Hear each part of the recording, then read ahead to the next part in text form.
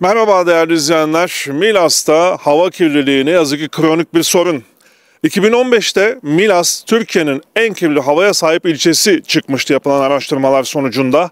Milas'ta yaşayan vatandaşlara soracağız. Arada bu arada tabii ki 9 sene gibi bir zaman geçti. 2024 yılında bakalım vatandaşlar Milas'taki hava kirliliğiyle ilgili neler söyleyecekler.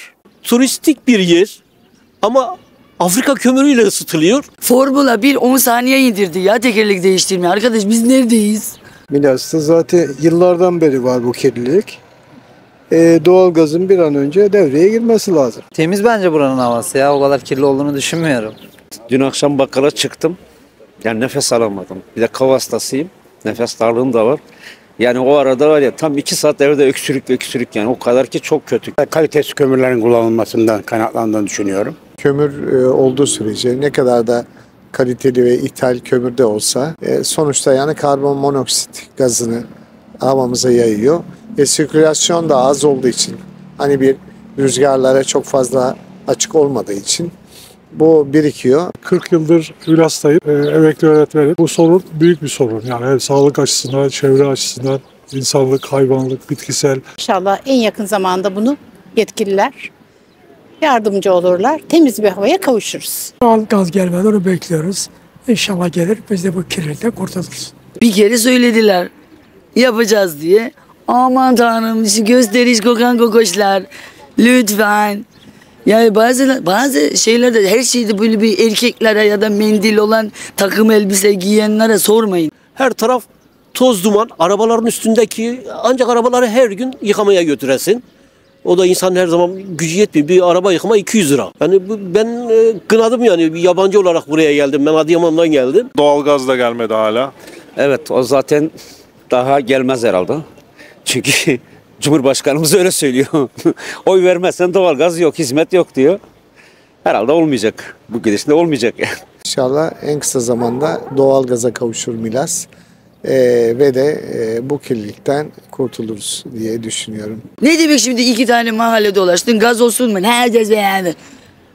Abicim çünkü bak beş tane çocuk ailesi var, dokuz tane çocuk ailesi var. Kömür sağlık için çok kötü.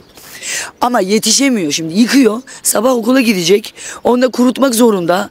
Yani fönle kurudan çorapları gördüm ya. Arkadaş yeter ya. İnşallah yani yeri belediye seçimleri bir e, fırsat bizim için. Ee, inşallah birisi çıkar da bu sorunu çözer. Bekliyoruz. Doğalgaz gelmedi hala. Ya doğalgaz bir muamma ne olacağını bilmiyoruz. Ya siyasi yatırım mıdır nedir o da belli değil. Ee, yani yukarıdakilerden beklentimiz bu. İnşallah doğalgazı bir an önce getirirler de insanlığa büyük bir katkıda bulunurlar. Doğalgazın gelmesi şart. Bazı yerlere geldi, bazı yerlere gelmedi. Milas hala gelmedi. Evet. Bu da iktidar. Halkın kullandığı oy, oy nedeniyle ya. Değiştirmeleri, değiştirmeleri lazım zihniyeti. Mesela bir sene ver abi AK Parti'ye bir yapsın. Beğenmedin mi yine değiştir. Ver yine CHP'ye. Ama insanlara bunu anlatmak zor. Şu ekonomik şartlarda doğalgazda bu millete ne kadar e, faydalı olur? O da ayrı bir konu. E, Allah önce bu milletin yardımcısı olsun diyorum. Evet değerli izleyenler görmüş olduğunuz gibi Milas'ta yaşayan vatandaşlar hava kirliliğinden şikayetçi. Özellikle acilen doğalgazın gelmesini istiyorlar. Artık doğalgazın geleceğine inanmayanlar da az değil aslına bakarsanız.